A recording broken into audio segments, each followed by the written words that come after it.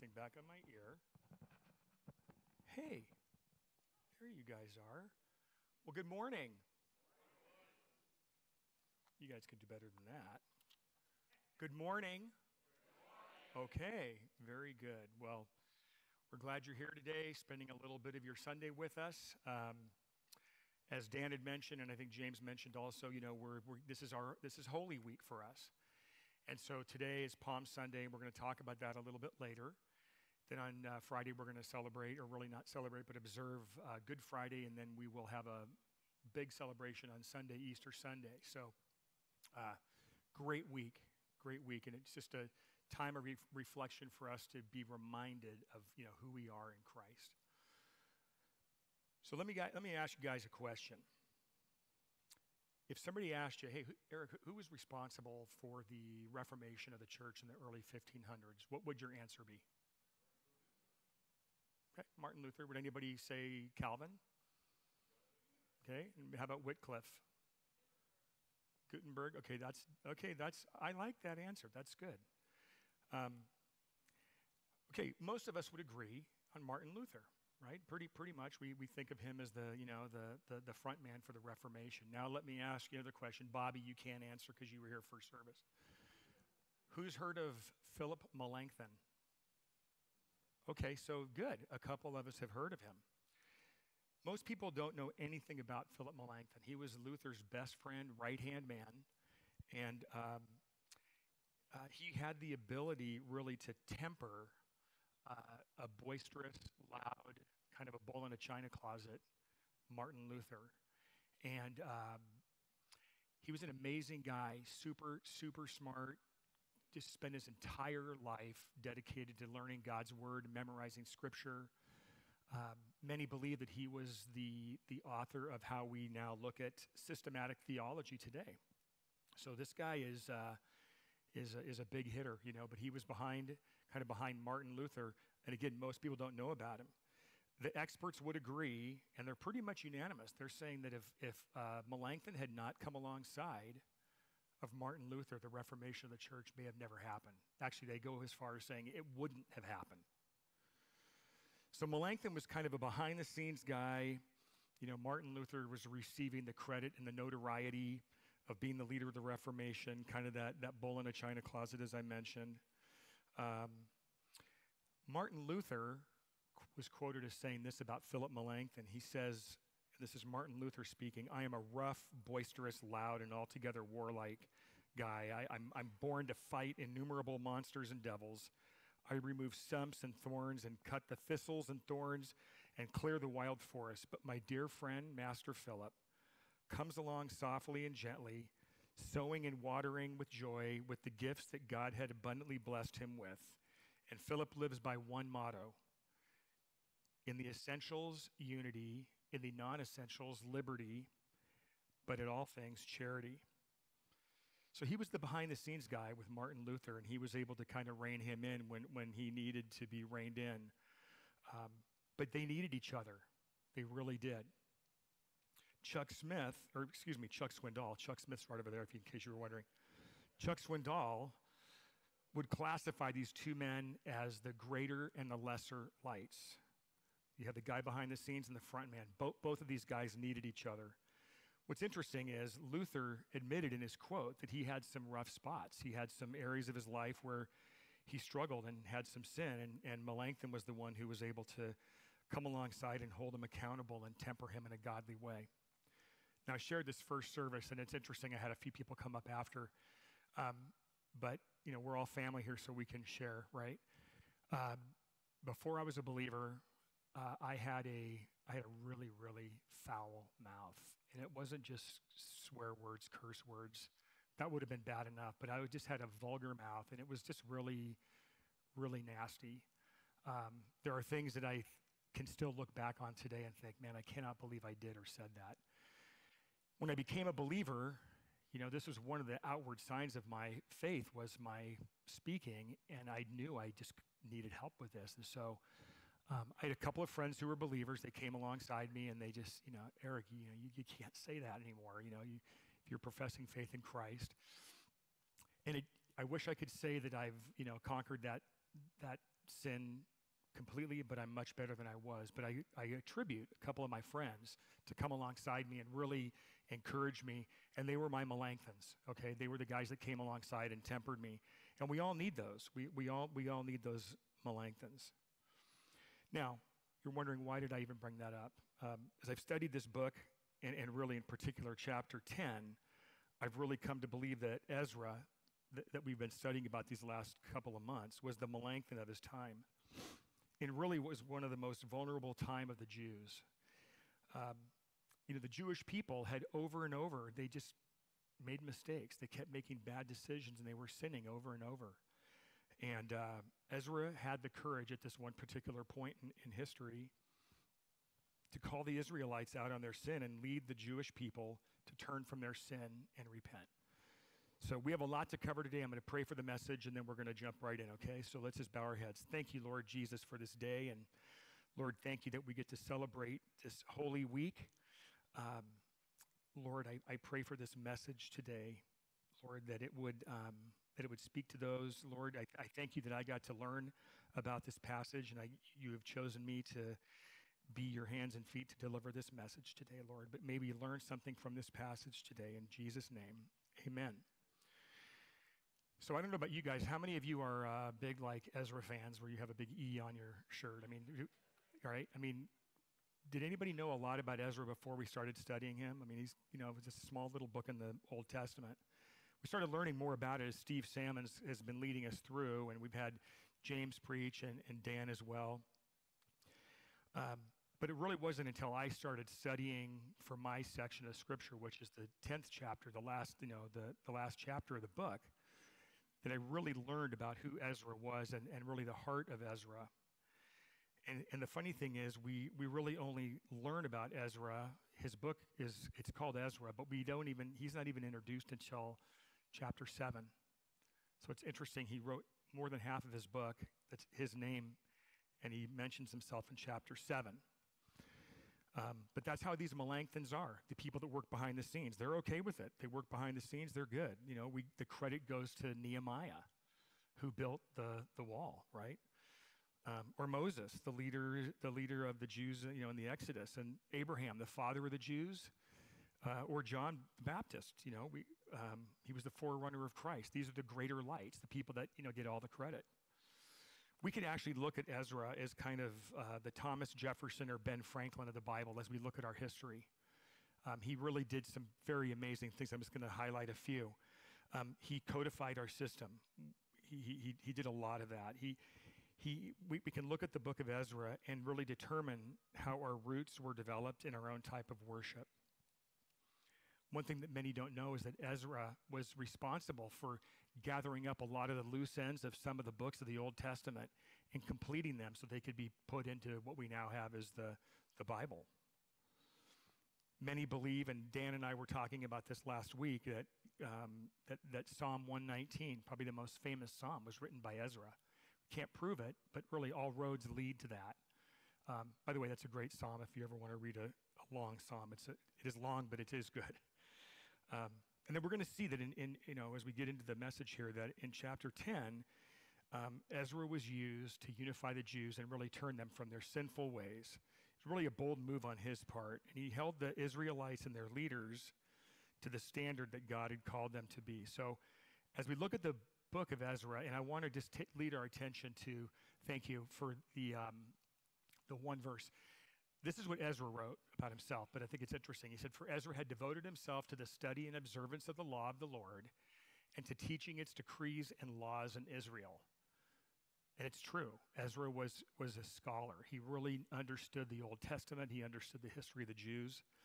Um, what's really interesting is three times the phrase, the hand of the Lord was on him, speaking of Ezra. It's only said once or twice by a few different people in the Bible, but three times by him.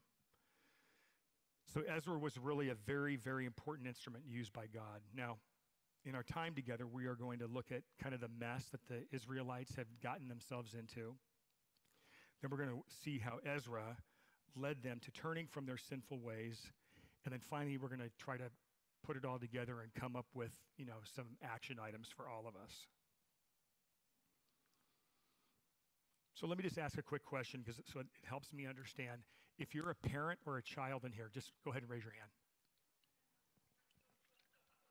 I just wanted to see how many people were still listening. Okay, let's pray. We're all done. No, I'm just kidding. Have you guys ever had a situation as a parent I'm talking to now where you're just you've had it, right? You're with your kids, something's going on and you just you're at wits end and you just lose it, right? Anybody ever have that? Maybe it's just me. Let me let me share with you something that happened to us a few years ago. We we did a long motorhome trip, a 3-month trip, which by the way is highly recommended, but motorhomes, I mean, you're talking close quarters, you know, 5 people in a in 300 square feet. It's snug. Um, and for the first couple of weeks, you know, we were all trying to get get, our, get a handle on, you know, the spacing and where, you know, where you're going to put your clothes and your toothbrush and all that, and a lot of bickering going on. But after a couple of weeks, it, you know, it started to get pretty crazy. And, and one particular day, I'm we're driving down in the middle of I don't know Kansas or something, and one of one of our kids, I, I won't mention his name, um, but I just had it.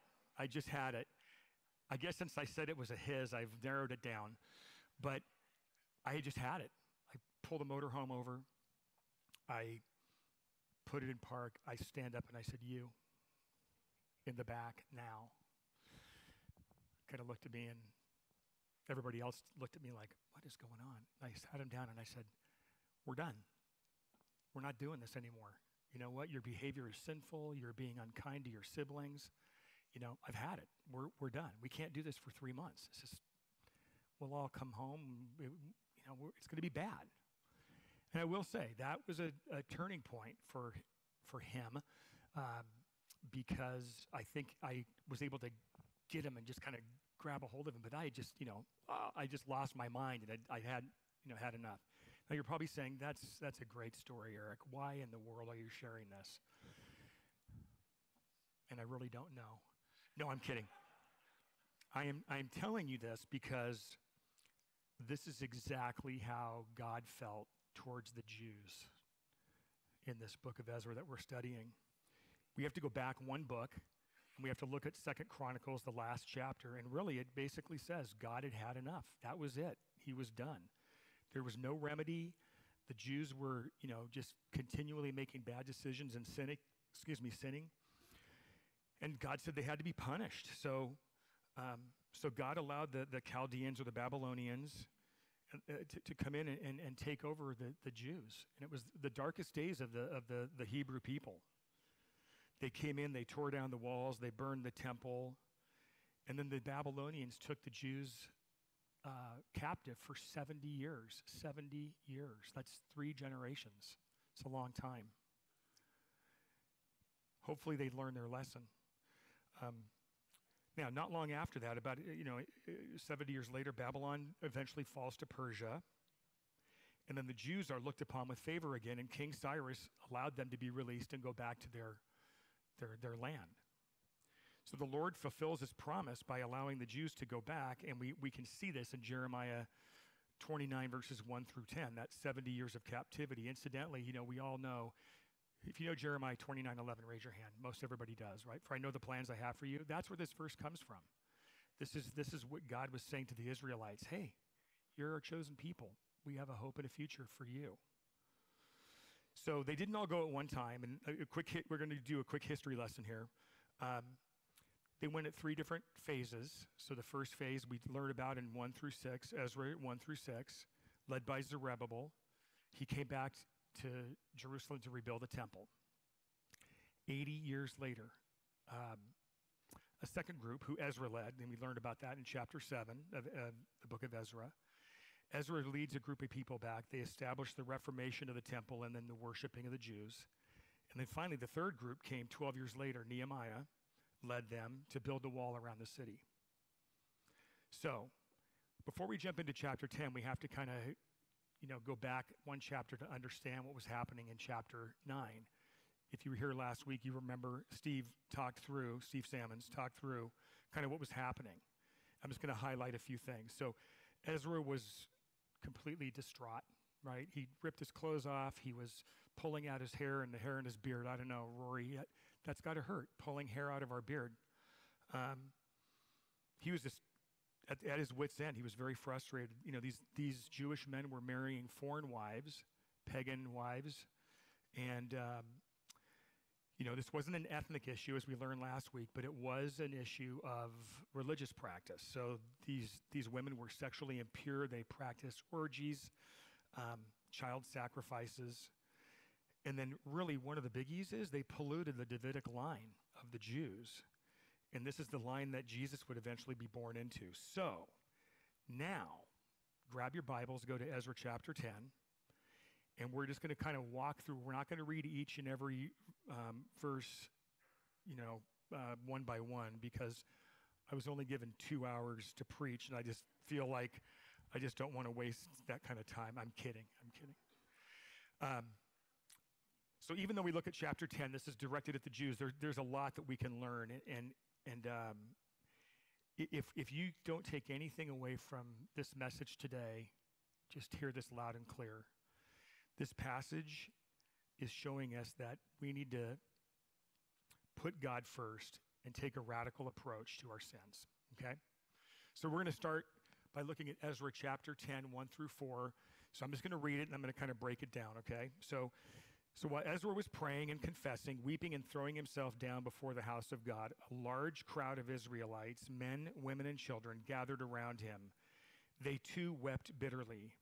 Then Shechaniah, son of Jehiel, one of the descendants of Elam, said to Ezra, We have been unfaithful to our God by marrying foreign women from the peoples around us. But in spite of this, there is still hope for Israel. Now, let us make a covenant before our God to send away all these women and their children in accordance with the counsel of my Lord and of those who fear the commands of our God. Let it be done according to the law. Rise up. This matter is in your hands. We will support you. So take courage and do it. So here's what's happening. As we said, Ezra was beside himself. We know that from chapter 9. Now in chapter 10, now he's outside the temple and he's laying prostrate and he's just, you know, the sin of his people has just torn him down to the nub to the point of again pulling out his hair and tearing off of his clothes. He can't understand why the Jewish people would be doing this. He's like, guys, aren't we going to learn our lesson here? I mean, can't, can we be done with this now? Um, you know, again, they'd married these pagan women, strange women, they say. Um, some people are actually strange, but, um, but strange in this context means pagan or practicing crazy, crazy things. But the Jews disobeyed God, and they did this anyway. Now, what's interesting is you can see the Holy Spirit through Ezra, and, and I would argue Shechaniah, is opening up the eyes of these men and convicting them of their sin, especially when you go back and look at him where he says that in spite of everything here, there's hope for Israel. So Shechaniah is proposing that the men that had married these foreign women, strange pagan women, put them away or divorce them.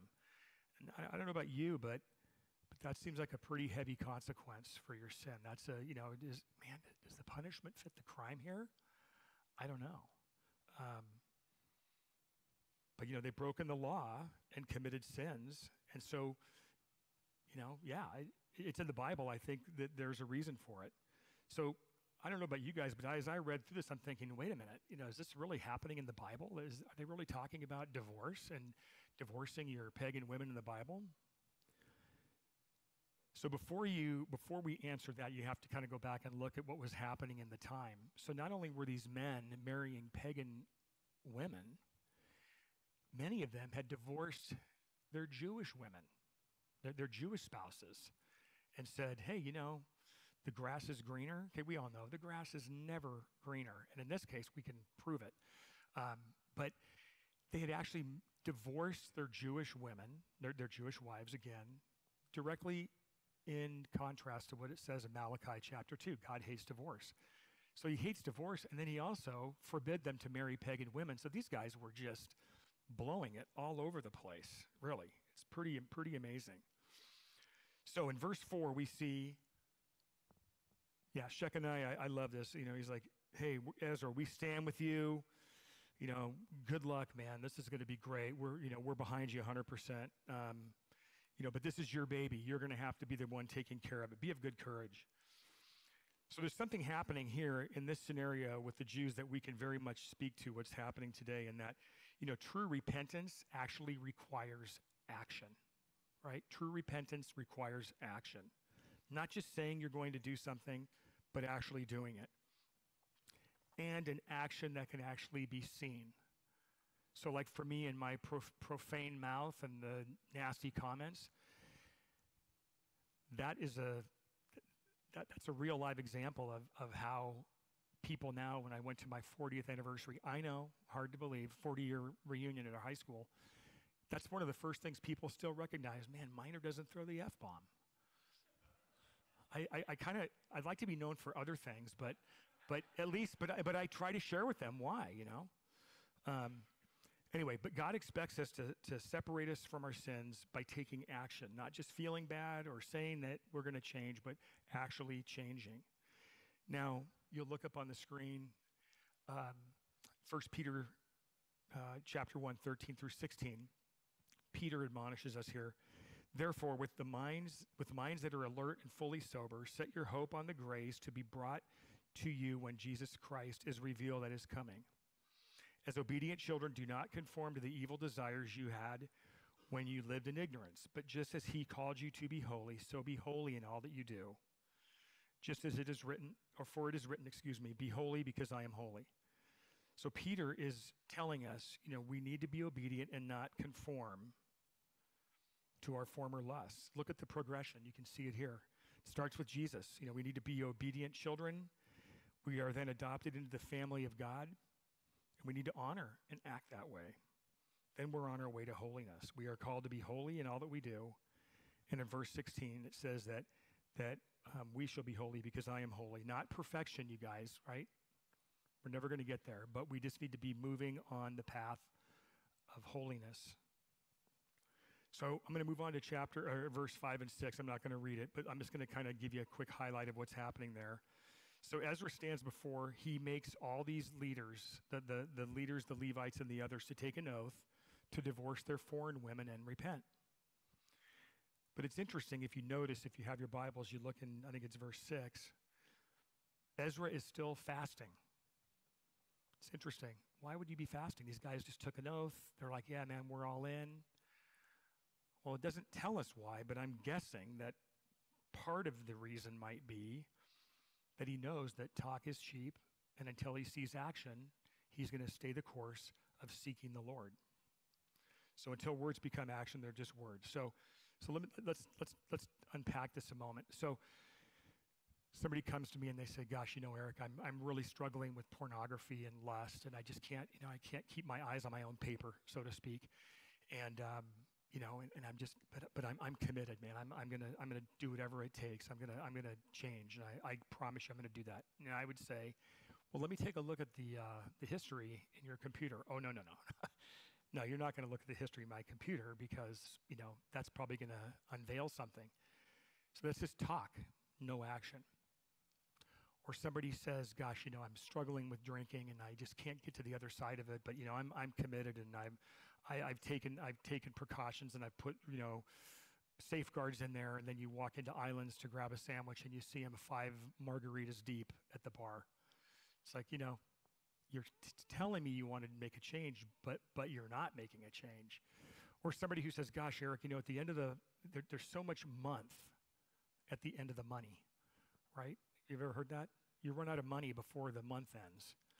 and they're like, I just can't get control of my spending. I don't know what it is. I'm trying everything I can. And then you stop by their house and you see 15 Amazon boxes piled up on their front porch. Well, they're just telling, they're just, those are words. Talk is cheap. So we have to be serious. We have to put actions with our words. So when you look at verses 7 through 12, it, it kind of walks through what happened here. And again, I'm not going to um, go through each and every verse, but I just want to walk through kind of what's going on here. So, in verse 7, you'll notice that it says the Israelites were given three days to, to come back to the city of Jerusalem and, and uh, with this proclamation. You might ask yourself, why three days? Is there something magical about three days? No, I don't think there's anything magical about it. But we do know that these tribes, they were all within about a 50 mile radius of Jerusalem. So three days is a pretty, you know, that's a pretty stout three day hike, right? So they figured three days, but it prompts them to take action, right? They don't want them to give them a bunch of time to sit and think about it. You know, if it's in a month, they're going to, something else is going to come up and they're, they're not going to go. So three days, they needed to be there. They didn't want people to lollygag or drag their feet. That's how serious this was. Oh, and by the way, if you didn't respond within the three days, you were exiled from the people of Israel, and they took all of your possessions. Quite motivating to make the three day trip. So I know it's hard to believe, but everybody came, right? Three days later, they were all there. So if we look at verses 9, 10, and 11, let me just tell you what's going on here. They're, they're, it's winter time. So now they just traveled 50 miles in three days. Obviously, the weather was difficult. Now they're there. They're standing out there in, in this huge arena, and um, you know it's freezing cold, and and they they know what's going on. They're going to be called out on their sin, and so Ezra stands up and he says one thing. He says, "You have been unfaithful and had married foreign wives, adding to the guilt of Israel. It's like, can you guys not see this? I mean, right? It's like, you guys, you're, you're totally blowing it. So he didn't sugarcoat his words, he just made it real clear. This is what you've done, and this is what you're guilty of. So again, there's this big crowd out, and, and uh, Ezra's kind of calling them out on their sin. I'm, I'm sure it was no fun. Um, but they, they had to stand there in those conditions and kind of hear the gravity of their, of their sin. And they're going to endure some hardship, and we'll see that in just a minute or two. But, but it's really interesting if you, if you kind of look through this and you, you, see, you can kind of see the Holy Spirit working here. You know, these leaders um, are, are going to take drastic action against the, their, their, and confront their sin. The people in the rain, that, that you know, after three day journey, they're standing out there in the rain, and it's very humiliating to hear, like, you guys, you blew it, and we're going to do something about it right now. Um, and Ezra's message, I mean, you know, he was one sentence, pretty clear. You blew it. We're going to fix this. The good news is in chapter, or excuse me, yeah, chapter 10, verse 11, there is a remedy. Ezra provides a remedy here. And so here it is. There's three steps. Number one, you got to confess your sins. You guys have got to own up to your sin, confess your guilt to God. You know, the Apostle Paul tells us that God is faithful and will forgive us uh, and cleanse us of all unrighteousness. You guys, God does not want to keep accounts of all of our sins. Do you understand that by now, hopefully? Can I get one nod of a head? Okay, good. But if we if we don't confess our sins, God can't forgive us until we come before Him. So we have to take that first action. Our job is to confess our sins, and God's faithfulness will forgive us of those sins. And then the second thing is, is we have to do God's will. Or in the King James Version, it says we need to do His pleasure. So after you're sorry and you ask for forgiveness, we need to line ourselves up with the will of the Father last thing is we need to separate ourselves. Now, you know, when you read this, you're like, okay, well, that, we could probably do that. And we need to separate ourselves from all sinners. Hey, good luck on that. Um, how will we do that? If we're to sep- if we're all sinners, how are we going to separate ourselves? That's not what it's saying here. What it's saying is, is that we are the light of the world, and we need to surround ourselves with believers and unbelievers. But it means that we want to separate ourselves from the sins of the world. That's what that separation means sexual immorality, lying, partying, debauchery, you know, you name it. Pick your, pick your sin. We need to be separated from that. We need to be holy in all of our conduct. So let me ask a question. How many, how many, you know, how many glasses of wine is acceptable? Is one glass acceptable? Or is seven acceptable. okay? Um, how long do I have to look at something or someone before it be, it's a it's a it's a, a casual observation and then it becomes a lustful thought, right? Or as first service, I said, how many miles an hour over the speed limit can you go and still not be sinning? And Sam Clarkson just looked at me and he was like this, no, no, if you go 66 miles an hour, you're sinning. So I said, really? Wow, okay. So this is not a rules checklist here. This is not a legalistic thing. This is a heart issue. we don't want to be legalistic. We need to separate ourselves and put God first, live by faith. Our only hope is really to separate ourselves from the ways of this world and have more of Jesus. Okay? Are we good with that? So look at their response. I love this. You're right. We must do as you say. So they recognize the magnitude of their sin and are willing to take drastic action. Now, verses 13 and 14, I'm just going to break these out, just give you a couple of sentences on this. But essentially, what was happening was they, they knew this was a big undertaking, and so they knew it was going to take time.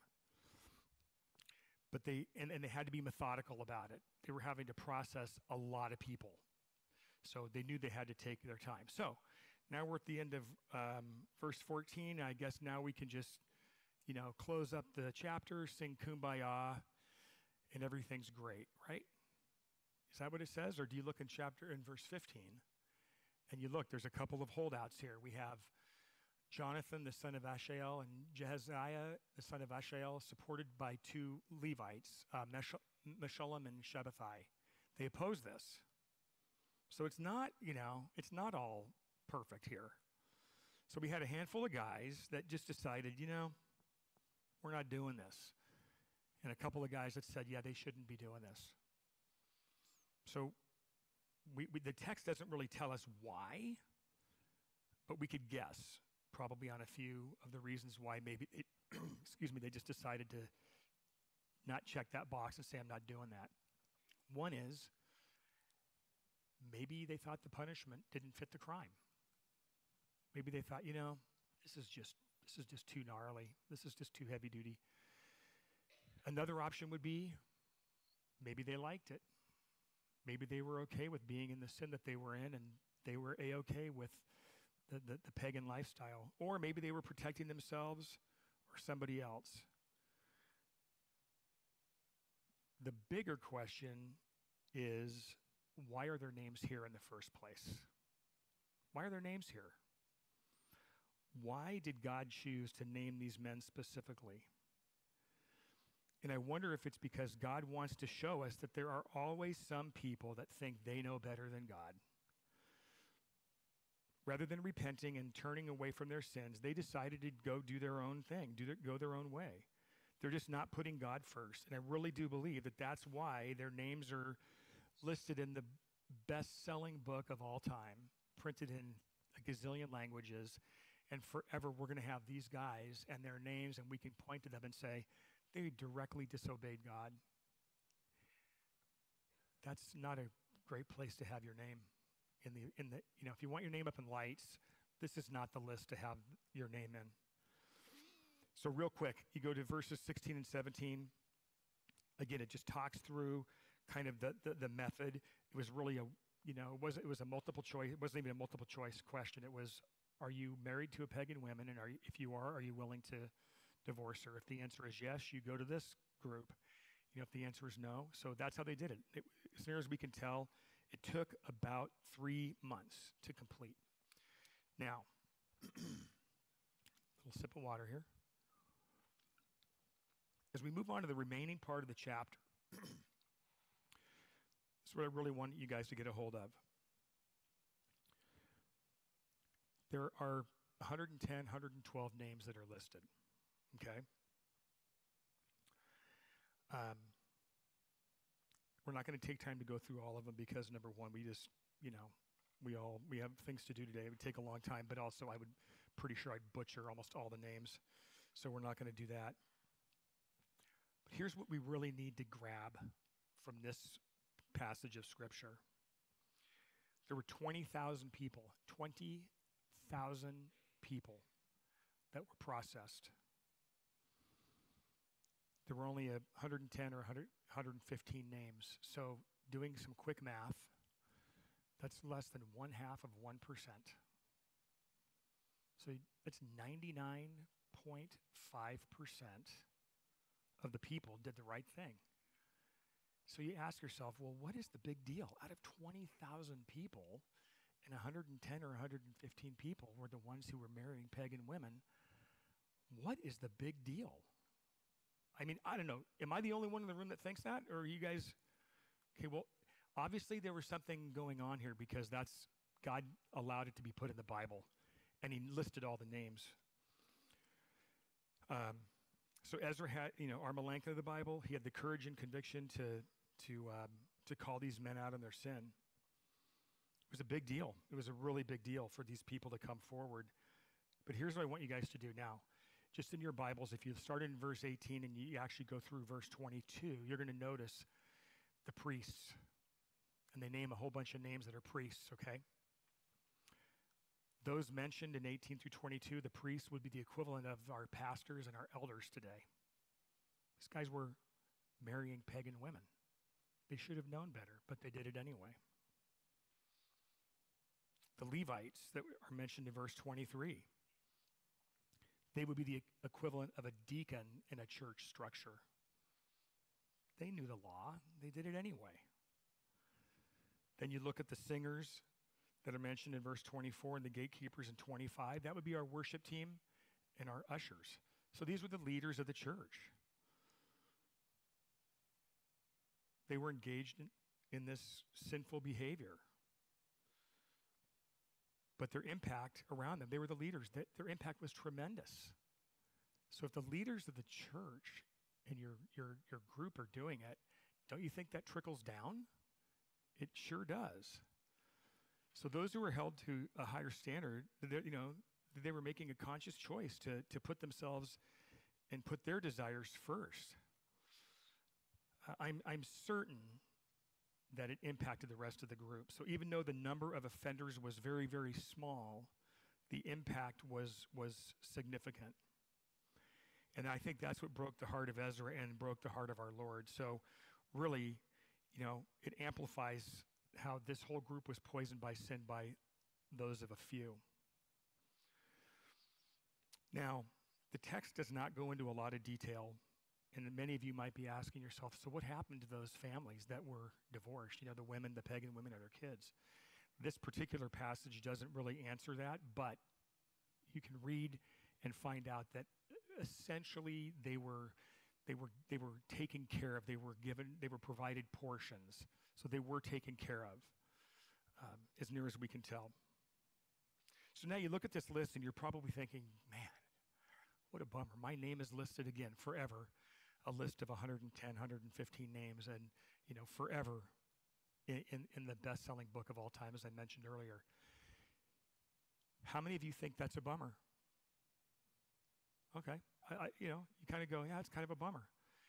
It is kind of a bummer, but there's another way of looking at it. As believers, we might want to look at this a different way, and that is that these are men that had the courage, guts, and you know, conviction to step up, take care of their sin, and deal with it. So as a Christian, now you look at that list and you go, hey, right on, man. These guys are kind of some of the, you know, maybe not heroes of our faith, but they're, they're people that actually stepped forward and they, they took responsibility.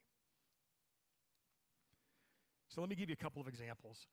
So let's say you're, you're traveling, let's say somebody travels here and they're from some faraway country in a faraway land.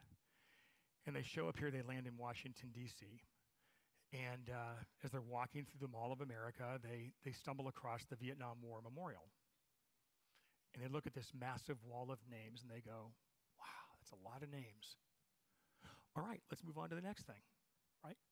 There's no context. They have no knowledge of what the Vietnam War meant, what it means to our country, there's no context. So here we get context. The, this list of offenders gives us context, or one closer to home would be Manzanar concentration camp. How many of you know about Manzanar concentration camp? Okay, a few of you. That's where, at the beginning of World War II, they took all the Jap- many of the Japanese families out of their places of business, their homes, and they took them and they sent them to downtown Mojave Desert um, in the middle of literally nowhere. And they built a concentration camp and they, they disrupted all these families. Well, if you're from out of the country and you're traveling up to Mammoth and you see it and you go in and you see the names, you go, wow, that's interesting. Okay. But if you know something about it, it means something. For me, it means a lot. I had I know four people that were in that concentration camp, and I spent a lot of time talking with them about their stories. It was really, really disruptive. So, context. So now we look at this list and we go, okay, Eric, I get it. Yeah. So many of you might be asking yourself right now, okay, so Eric, this, is, this has been great. Why did you drop a pen? And, um, um, you know, how does this apply to our, how does this apply to us today, marriage and divorce? There's a few things. First, we, we can look at the New Testament, 2 Corinthians chapter 6, verses 14. It's very clear. As Christians, we should not be unequally yoked and marry non Christians. we got to trust this passage. And that's what was happening with, with the Jews of the day. They were unequally yoked. And those pagan marriages tore the Jewish community down. So we do not want to be unequally yoked if, it ever, if at all possible. We don't have time to look at it today, but if you really want to look at a great chapter of Scripture about God's view of marriage, look at 1 Corinthians chapter 7. It, it gives an instruction booklet for marriage. Okay. Now, I might be the only guy in the room here asking this question, but there might be some of you who are asking, okay, so what if I'm married to a non believer? Has anybody asked that question? Has anybody has that been percolating in anybody's mind, or is it just mine? Okay, so I guess it is just me. No, I see a few hands. It's a great question. And, and you know, God's word instructs us to stay married to this to, to a non-believer if at all possible. There is nothing in scripture that says that we should be divorcing a non-believing spouse. There are biblical reasons for divorce, obviously, but them not being a believer is one of them. And there's a few reasons. Number one, many of us became believers after we were married, married, right? And our spouse maybe isn't a believer yet. Right? Maybe God isn't finished with them. Or our kids. We want to be able to share the love of Christ and be the salt and light. So there are very good reasons. Again, there are biblical reasons for divorce, but uh, having a, a non believer as a spouse is not one of them. We are commanded to be salt and light in all of our relationships. So, at the risk of beating the dead horse, which, by the way, is one of my signature strengths, I want to make sure that we all agree on one thing, and that is this. This passage does not tell us in any way, shape, or form to go and divorce our non believing spouse. Can I get an amen or an agreement or, okay, we're clear on that. I don't want somebody coming up and saying, so, uh, exactly. No. Excuse me. Here's what the passage is saying it's so clear. If there is something in our lives that separate us or get in our way of giving God and Jesus their rightful place in our lives, we need to examine it and we need to work towards getting rid of it. In the case of the Jews, it was marrying pagan women. In the case of some of us here, it's anger, it's greed, it's selfishness, it's lust, it's fill in the blank. But we need to identify what it is, and we need to get radical about handling it. So in Jesus' Sermon on the Mount, thank you, sir. You know, in, this is Jesus' uh, you know the Sermon on the Mount. He talks about exactly what he how he, he wants us to look at our sin. If our eye causes us to sin, we need to gouge it out. If our hand causes us to sin, we need to lop it off. Now, I'm pretty sure that that does not mean that God wants us to walk around with one eye and one hand sharing the good news because That's not a really good sales pitch at all. I'll just tell you right now. But that's the kind of that is the kind of approach that we need to take towards our sin. So, what are our takeaways from this, this morning's message? A couple of things. Ezra, I, I just, the more I read about him, the more I just uh, uh, appreciate and admire him. Our Melanchthon of the Bible, you know, really one of the unsung heroes of the Old Testament and, and, and the Bible, arguably. He preserved the Davidic line of the Jews and the remnants returned, the Jewish remnants returned to the promised land. He had the courage to call out the Jewish people on their sin and lead them on a path to repentance. We need to separate ourselves, again, not just physically, but we need to, by our thoughts and actions, we need to be set apart. We're not going to be perfect, but we just need to strive for holiness. If we are currently unequally yoked in a relationship, pray about how you can love the other person and demonstrate the love of Christ to them. For you young people here today that are young, mar- not married yet, um, please trust this passage. You know, do not be unequally yoked. Um,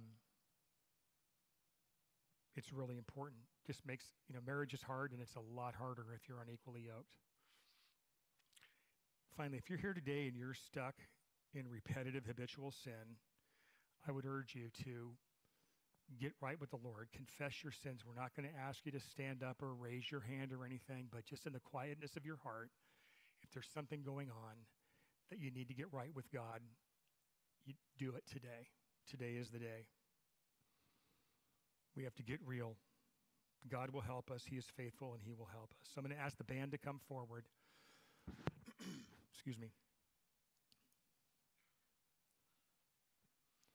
So here we are, Palm Sunday. Who can tell me what Palm Sunday is?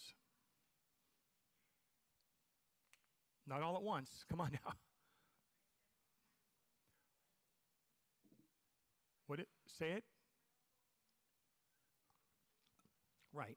It's Jesus' triumphal entrance into the city, right? They take palm fronds, they're laying it down. Why did they do that? They didn't want it was so holy that they didn't want him to touch dirt. So today's Palm Sunday. That's what we're celebrating. Next Friday, this coming Friday rather, we will observe Good Friday. And then on Sunday, we get to celebrate Easter, which is the best day of the whole year. So here's what I really am asking you to do today I want you to reflect on what God through Christ has done for us and Bobby and I were talking about this just after the first service, and it, it really it, really hit me hard again, and that is that you know for the Jews they had to divorce their pagan women. For us, maybe it's you know really working on some sins, but God's approach to sin was a little more radical. Um, he allowed his son, his only son, to be beaten crucified and killed to pay for the sins of all mankind. That is how serious our sin is. That God would allow his only son to go through what he did for you and for me. Our sins have separated us from having a relationship with God, but through Christ and his blood, those who believe have a relationship with God and will have everlasting life. Now, if you're here today and you're not exactly sure where you are in your walk, if you've never made the commitment to follow the Lord or you're struggling or whatever, you know what? Don't let this day go by without having somebody up here praying for you. We would love to talk with you and walk you through this. And if you if you're wondering what it means to be a believer, we'd love to talk with you about that too. So let me just pray for us, and we'll let the band take us home with a song here. Thank you, Lord Jesus, for the opportunity to share today, Lord, and thank you for your word. Really, Lord, and for the simplicity of, of the word of how we need to deal with our sins. So, Lord, as we go out today, I pray that, um, Lord, we would all look at our sin in a different way and how you paid such an unbelievable price uh, to cover our sins, Lord. And so we love you, God, and we thank you, and we look forward to celebrating Easter this coming Sunday. In Jesus' name, amen.